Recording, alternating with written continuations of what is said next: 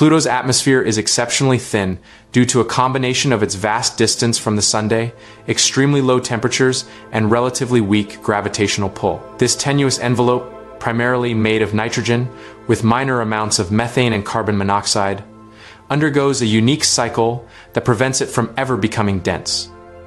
The most critical factor is Pluto's elliptical orbit, an immense average distance from the Sunday. This means it receives very little solar energy. The atmospheric gases aren't permanently gaseous, but rather sublimate directly from the ices of nitrogen, methane, and carbon monoxide on its surface. As Pluto occasionally comes closer to the Sunday in its long orbit, surface temperatures rise just enough to cause some of these surface ices to turn directly into gas, temporarily forming a thin atmosphere.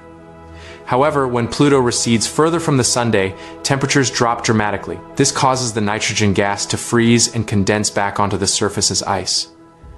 This dynamic easy come, easy go cycle means the atmosphere effectively fades or collapses when Pluto is at its furthest from the Sunday. Moreover, Pluto's small size and resulting low gravitational force make it difficult to retain any substantial amount of atmospheric gas. Although the solar wind is less strong at Pluto's distance, which helps prevent its atmosphere from being stripped away rapidly, Pluto simply lacks the necessary gravity to hold onto a dense envelope of air.